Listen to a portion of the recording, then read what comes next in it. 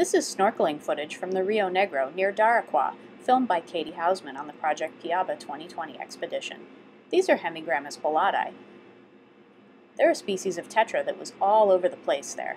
And these are Hemigrammus bleheri, rummy-nosed tetras.